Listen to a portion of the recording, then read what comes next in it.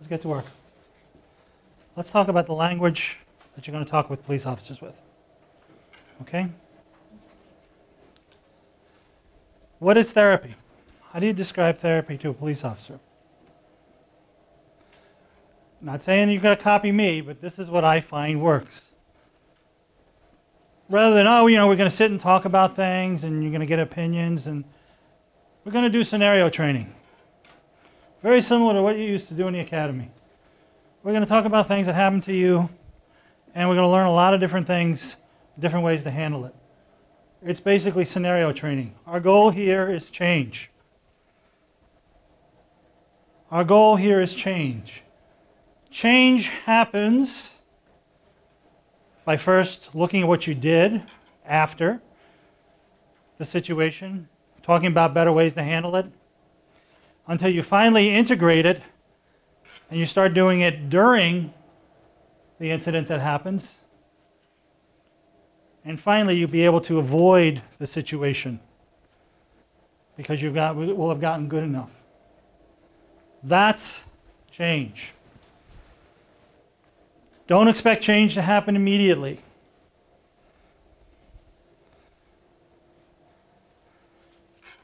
We're going to go through these scenarios, and you're going to have to say, well, this is very similar to the scenario I had last week. You know, this is very similar to what's happening with my wife.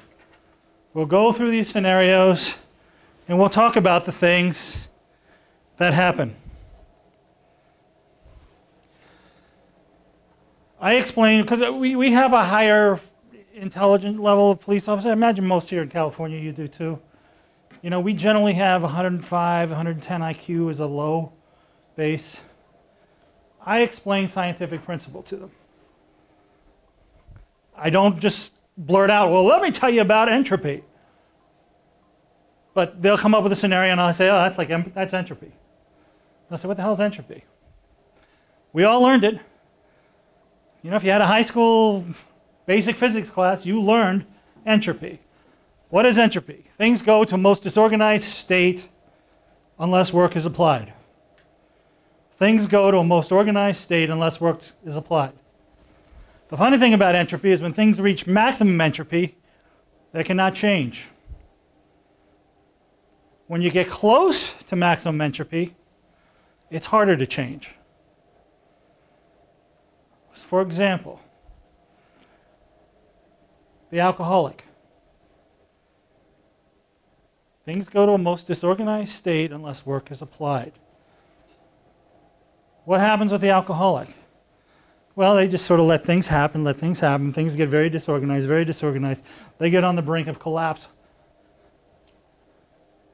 Rock bottom is not rock bottom. Rock bottom is when they're dying of cirrhosis. That's when they have maximum entropy. Things go to a most disorganized state unless work is played. That's why you need to go for 28 days, because you've reached a maximum level of entropy. That's why you have to do a very strong intervention because you've reached a max, maximum entropy. Anybody who's seen a, a picture of my desk? Anybody that's had teenagers and saw their room? That's entropy. that's perfect example of entropy. Things go to a most disorganized state until work is applied. You notice what I'm doing? I'm repeating entropy over and over and over. I'm going to get to that in a few minutes, but that's what you have to do when you're teaching somebody. Repetition. If you want change, you better have a lot of repetition in your speech.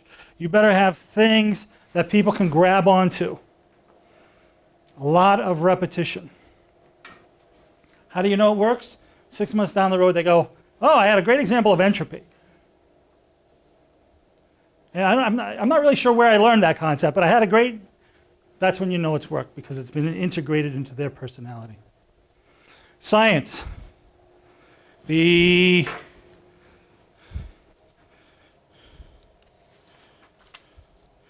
first law of motion, inertia. A body in motion will stay in motion, a body at rest will stay at rest. When a body is having some motion, it's easier to change that motion than it is to start it up. A body at rest gains inertia. A train that's sitting in the train yard gets rusted. It becomes almost impossible to move, almost impossible to change. You have to do the change slowly. Which brings a concept of therapy that I'm going to talk about later, but the concept of therapy that's very, very important. Sometimes you got to get the person changing before you start working on the problem.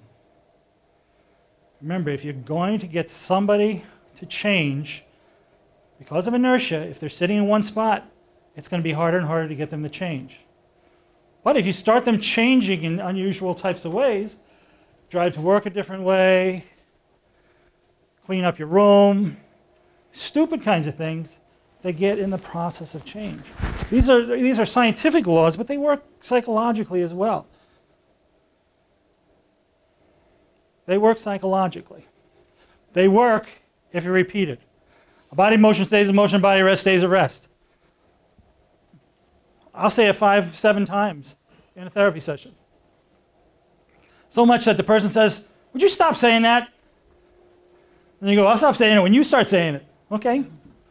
So then you repeat it. And you say, Okay, I'll stop saying it until the next session. Body in motion stays in motion, body at rest stays at rest. And finally, relativity. You've all heard these concepts, right? Everyone's heard of what relativity? Let me explain relativity to you in the way that I found it was most, most useful. Rachel and I are on a plane.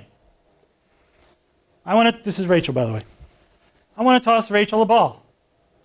I don't know Rachel from before. I toss Rachel a ball. She can catch it. That plane is moving 530 miles an hour. But I can toss her a ball and she can catch it because the plane is a system. And when you're moving in a system, you're able to do that because relatively, relativity means everything is moving in that system at the same rate.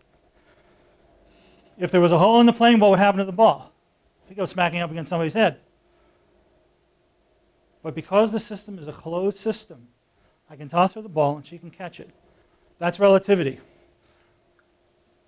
In a closed system, I can toss the ball and she can catch it. Why is that important?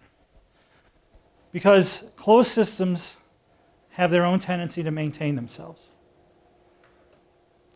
Therefore, if your client is going to start changing, everything is going to be trying to hold them in and not change. That goes from, if you ever read, um, oh, it was some book about high school that. Uh, about all the patterns in high school when they came back for a reunion. They all, everybody puts people in the same pattern. If you were the intellectual in high school, you're still the intellectual, even if you've been in jail 10 times. Closed system. If a person starts changing in a marriage, what's going to happen? Well, believe it or not, their husband or wife is going to try to get them to do the same things. That's what's predictable for them. That's like throwing a ball to Rachel. Relativity. Why are these three scientific principles important? Because you want to develop the language with the people that you're going to be working with. You want to develop the language. You can use these concepts in 300 different ways. I always set up my session where I let them just talk and ramble for about 45 minutes, and then I get the last 10. So, okay, we're going to teach you something in the last 10 minutes. And what ends up happening is after 30 minutes, they usually say, okay, I've said enough. Come on, what, what do you got? What do you got today? These, it sounds gimmicky, but that's what works with cops. It's what works with cops. Danny and I have a list of probably 150 things that, and we've tried probably a thousand to try to get them to work. And we have these lists that, of things that work. That's what works with cops. That's what works with cops. Let me give you, uh, I call it metaphors, fairy tales, and sound bites. They work with cops. You know why? Cops were like football players. Cops were the high school baseball players, right? Okay? They're used to motivational speeches. They're used to people having giving them phrases. Go out and win that game for the Gipper. They're used to those things. Win one for the Gipper. There's a, there's a phrase. And cops, when you're talking to them, and even the female cops, if it's something they can remember, and you've said it 10 times, they start applying it. And they apply it in places where you're sitting there going, geez, I never thought of that. So, let me give you some of the ones that I like to use. When I use a teaching metaphor, I always like to use cop metaphors. For instance, Joe, when you're going up to a uh, traffic stop, and you're standing there, and the guy says, Look, I know I was speeding, but the guy behind me was, was riding my tail, and I had to keep moving to get out of make sure I was out of his way. What do you say, Joe? Who's driving your car? Who's driving your car? That's what Joe says. Okay? Because that's what cops would say. Who's driving your car? You or the guy behind you? I like to use the one because I just know that this is what cops do. They know the bathrooms in their sector, and they sort of drive around the bathrooms when their stomach's a little upset. You know, they know there's one in a firehouse and there's one in McDonald's, and they, they know the bathrooms, which ones are likely to be used. So you tell them, you know, sometimes you just have to change your life a little bit to be prepared. It's like driving around looking for bathrooms. You don't want to be driving around looking for that bathroom. You don't want to go back in the precinct and have, have your pants soiled. So it's like driving around looking for bathrooms. And they come up with ways, metaphors that they use all the time. Um, the routine call. When, when are most cops shot on the job? Actually, about half. During a routine call. Routine traffic stop. Five minutes. Routine traffic stop. Those kinds of things. Fairy tales. These are my favorite. The Rumpelstiltskin effect. Anybody remember Rumpelstiltskin? You've got kids, right? Rumpelstiltskin was the, uh, little mannequin that uh, the girl couldn't have any children, couldn't get married. He tells her, "I will let you get married, but you have to do. You have to give me the firstborn male child." So she goes. She marries the prince or the king. She becomes a queen. She gets pregnant, has a child, and the guy comes and says, I want, my, I want your firstborn male child. And she goes, Oh, he's a prince. You can't have him. And he says, Well, tell you what, if you can remember my name, you can say my name, you won't lose your child. And then, you know, the prince, the queen ends up finding out the name. The Rumpelstiltskin effect. What do I use that for? Sometimes and we know this. Sometimes in therapy, if you can put a name to it, it has a, uh, more meaning than if you don't have a name to it. ADD. Man, that name really caught on. That was big. That really caught on. Much more than hyperactive. Nobody wanted to hear hyperactive. My kid's hyperactive, but attention deficit disorder with hyperactivity, that caught on. The medicine of the day. You know, we're using SR, SSRI drugs. Zoloft is a miracle cure when it came out. If you put a name to it. And this is so strong that medicine companies actually come up with names for their drugs other than the clinical name. The Cinderella fantasy. The Cinderella fantasy is basically people who believe that if they sit in their house and they love all the animals, somebody's going to knock on their door and make them a princess. So you go through that. Hey, you know, when you're getting a girl who's dating, if you're not getting out there, no one's going to knock on your door. In 28 years, I've only had one person who found their husband knocking on the door. He was a neighbor and came over and uh, was returning a dog or something like that. It's not going to knock on. It's not going to happen unless you do something. And what, is, what does doing something mean? Breaking through entropy. I have a few others, but let me, let me just go through the, to the last one. The Princess and the Pea. Guys love this one. Princess and the Pea. Sometimes there's just one little pea and 14 mattresses.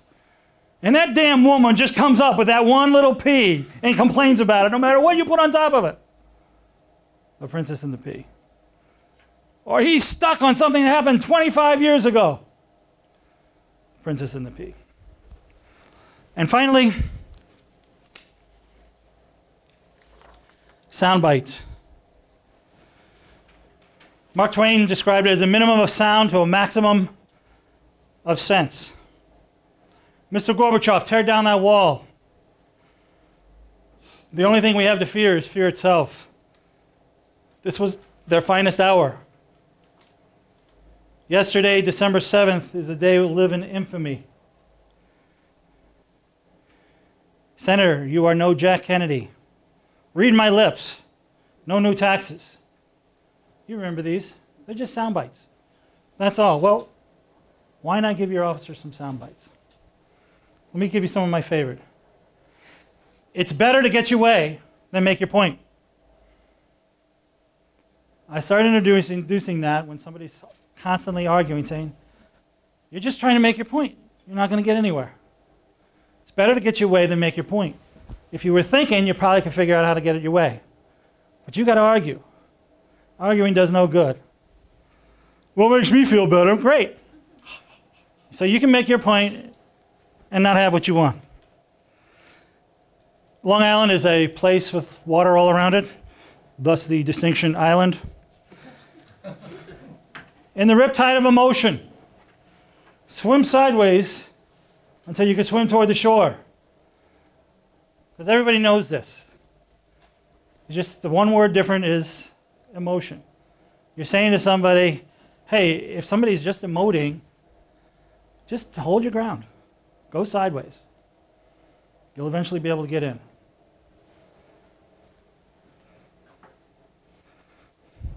And finally, cut your emotional losses. Go toward your goal. One five word sentences that you repeat numerous times. Therapy is repeating. Repeat numerous times. And there's hundreds of them. I mean, you can make, make up a phrase for anything. Repeat them numerous times, and they'll start getting into people's heads.